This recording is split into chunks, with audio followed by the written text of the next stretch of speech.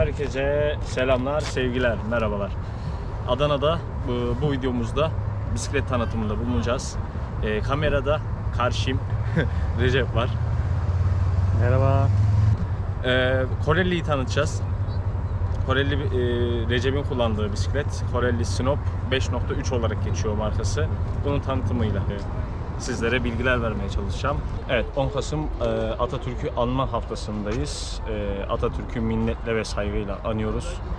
E, kanala abone olmayı, yorum yapıp like atıp desteklemeyi lütfen ihmal etmeyiniz. Hadi videoya geçelim.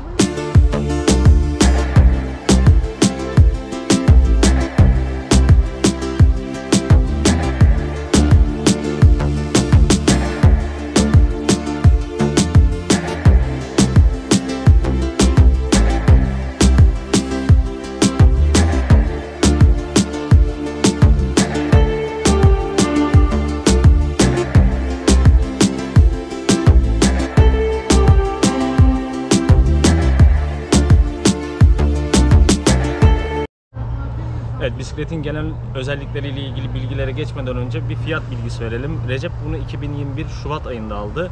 E, aldığında o zamanın tabii ki kur farkıyla e, ne kadara 1700 liraya denk gelmişti. İnternet sitesinden satın almıştı. Şu anda da bakıldığı zaman 1900-2000 lira civarında e, fiyatlandırması mevcut. O da tabii ki doların şu andaki durumundan kaynaklanan bir durum.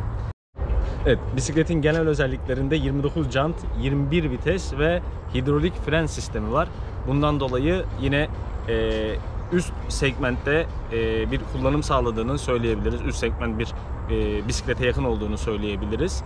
Başlangıç seviyesinde hani bu seviyede bulunabilecek en iyi markalardan veyahut da en iyi modellerden biri olduğunu rahatlıkla söyleyebiliriz.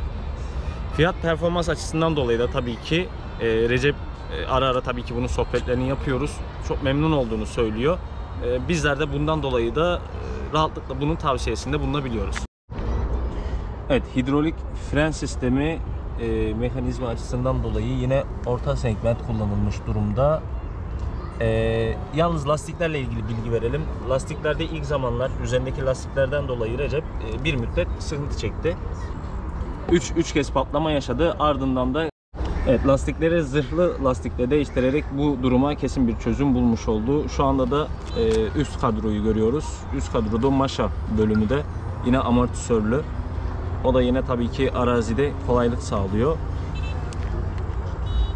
E, Maşa'dan kilitleniyor, açılıyor amortisörü. Onun da şöyle sağa sola çevirerekten e, yine rahat bir kullanımı mevcut. Evet daha da üst taraflara çıktığımız zaman Recep kendisine şöyle bir aparat aldı. Ee, telefonunu koymak amacıyla. Evet e, görüntülerde belki net çıkmayabilir ama üzerinde Neco marka e, gidon mevcut durumda. E, genel itibariyle de baktığımız zaman hoş bir e, duruşu var. E, vites geçiş kolları e, benimkine nazaran burada ikili vaziyette yer alıyor. Yani ben de şu arkasında yer alıyordu. Bu ileri itiyordu. Buradan da geriye çektirebiliyordu. Bunda bu şekilde yan yana duruyor. Ee, kişinin kullanımına göre belki bu daha kolay bir kullanım sağlıyor olabilir.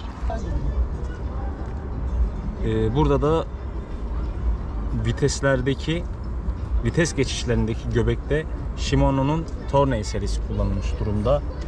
Ee, 21 vites mevcuttu. 7'si arkada, 3'ü önde olmak kaydıyla Shimano'nun Tourney yani orta halli bir e, model olduğunu söyleyebiliriz. Corelli Sinop 5.3 üzerinde kullanan kullanılan malzemeler bu şekilde. Yine Recep kendisine e, lastik patlağına karşı veyahut da farklı aparatlarını e, e, koyabilmek amacıyla böyle bir çanta almış durumda. Şimdi burada e, gece sürüşü için ışıklandırma mevcut durumda. E, olmazsa olmaz. Hani araçların veyahut da diğer e, trafikteki araçların bizi fark edebilmesi için ışıklandırma olmazsa olmaz. Arkada ve önde olma kaydıyla iki adet ışıklandırması var Recep'in bisikletinde. E, bu da ona daha bir güvenli sürüş sağladığını söyleyebiliriz. Evet bu videomuzun da sonuna gelmiş bulunmaktayız. Recep'e e, çok çok teşekkürler ederim bu videodaki katkıları için. Ee, abone olmayı, like yapıp yorumlarla destek olmayı lütfen ihmal etmeyiniz. Bir sonraki videoda görüşmek dileğiyle. Hoşçakalın.